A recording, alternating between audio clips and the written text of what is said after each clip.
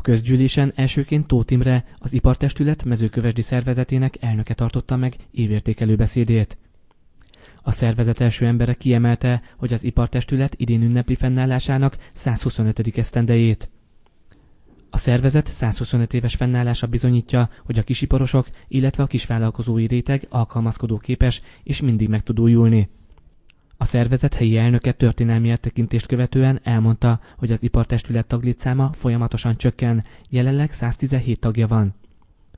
A szervezet legfontosabb céljai közé tartozik, hogy meg tudjon felelni a gazdasági válság okozta kihívásoknak, illetve hogy minél több vállalkozást tudjon talpon maradni. A célok közé tartozik a taglétszám növelése, a tagok érdekképviselete, valamint a szakmai munka segítése. Tóth Imre elnök elmondta, hogy továbbra is kiemelt cél a szakemberek utánpótlásának biztosítása, valamint a magas színvonalú szakemberképzés. Az IPASZ helyi elnöke fontosnak tartja továbbá a feketén dolgozó és a munkát felelőtlenül elvégző vállalkozók kiszűrését, mert a tevékenységük sokat árt a munkájukat tisztességesen elvégző iparosoknak, továbbá megrendelőknek is komoly anyagi károkat okoznak. Tóth Imre ezzel kapcsolatban felhívta a lakosság figyelmét arra, hogy a szakemberek keresésekor bátran forduljanak az IPOSZ helyi szervezetéhez, mert tagjaik sorában csak szakképesítéssel rendelkező és az elvégzett munkára garanciát vállaló szakemberek tartoznak. Szűcs György országos elnök véleménye szerint felemás évet zárunk gazdasági szempontból. Azt gondolom, hogy a magyar kézművességnek a 2011. év a nagy várakozásokkal és a reménységekkel teli év volt a tavaly évben meghirdetett új nemzetgazdaságpolitikai program és a nemzeti átalakítási program nagy reményekkel és ígéretekkel volt tele.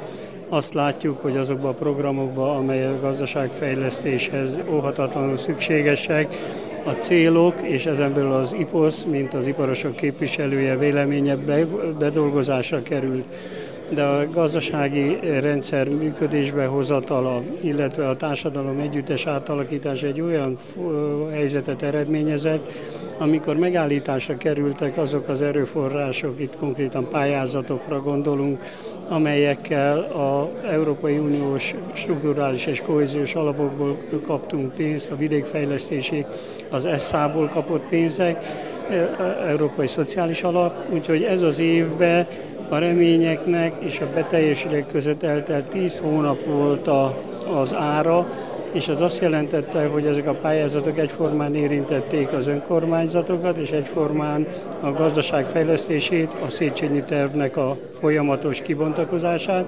Úgyhogy most október közepére, végére látjuk azokat a a, a terveknek körvonalazódását, ami már valódi pályázatokat jelent. Szűcs György szerint a pályázatok megjelenése örömteli, ugyanakkor nehézséget okoz, hogy a legtöbb kisvállalkozó nem rendelkezik a megfelelő önerővel, melyet sokan csak hitelfelvétellel tudnak előteremteni. Hogy azok a devizahitelesek, akinek a kormány a lakásuk megőrzése miatt óriási erőfeszítésekkel éppen január 1-től induló lakásalappal tud majd segíteni, azt eredményezte, hogy eltűnt a hitel a bankok részéről, hisz azok a forintra átváltó devizahitelek egyszerűen az ő forgótőkeiket is felemésztettek. Ezért az IPOSZ törekvése a pályázatok kiírása után annak a népszerűsítése mellett arra korlátozódott, vagy arra irányult legfontosabban, hogy olyan magyar pénzintézetekkel kössünk megállapodást, hogy a tagjaink felé hitelhez önrészt és előfinanszírozást juttassunk, mint a Takarékszövetkezetek Szövetsége, illetve az a mikrofinanszírozási rendszerbe juttatott állami pénz hozzá a szükséges hitelgarancia, amely nem csak a pénz hiánya miatt nem akadályozta a hitelfelvételt, hanem az elértéktelenedett, vagy éppen magánjelzáloggal terhelt magántulajdonú kisiparosnak nem juttatott hitelt. Egy szóval ebbe a, reményekbe és a kétségekbe és a gondok között telt el az év, de szerencsére lassan eltelik, és a, a gazdag, éppen a parlament előtt folyó költségvetési vitát figyeljük árgus szemekkel, hogy az a piac, amely a magyar családi vállalkozásoknak a fő megrendelője, az önkormányzatok és a lakosságnak a jövedelem pozíciója milyen lesz. Nos, ezen a területen még van árnyék a, a kibontakozás útján, hisz látjuk, hogy a jövő év a kormányzati hármas főcélnál, a, a nemzeti adósságcsökkentésnél, a valutásoknak a kimentésénél egy olyan helyzetet teremtett, amely, ha az adósságot csökkenteni akarjuk, kevesebb hitelt lehet felvenni, és ezért kevesebb jut bizonyos e, forrásokra, amire mi vártunk.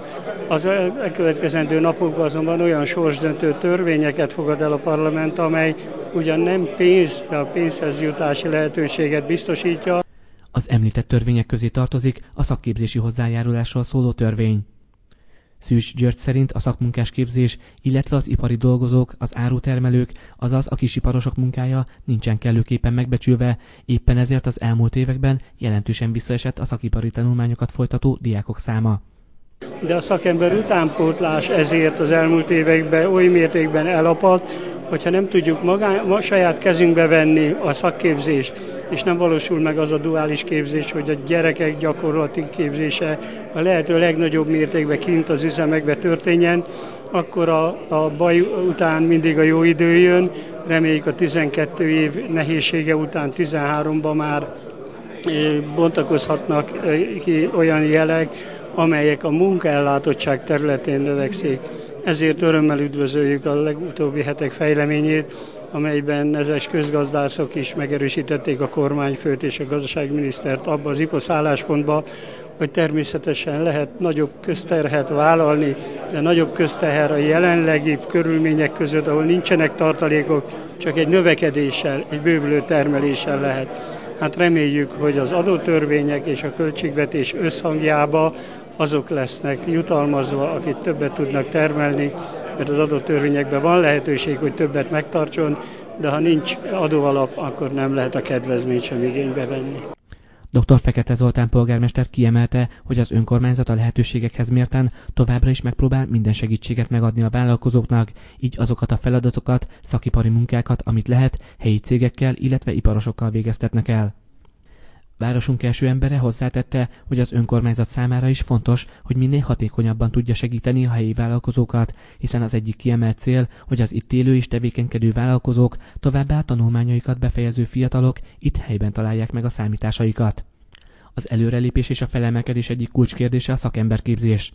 Csirmaz István, a Széchenyi István szakképzőiskola igazgatója szerint nagyon fontos, hogy a magas szintű elméleti oktatás mellett a tanműhelyekben, illetve a vállalkozók mellett minél több gyakorlatot szerezzenek a tanulók, mert ez nagymértékben segíthet a minőségi szakember utánpótlás biztosításában. A hivatalos program utolsó napi rendi pontjában díjak, kitüntetések ünnepélyes átadására került sor. A díjazottak listáját városunk honlapján a www.mezőkövest.hu oldalon láthatják.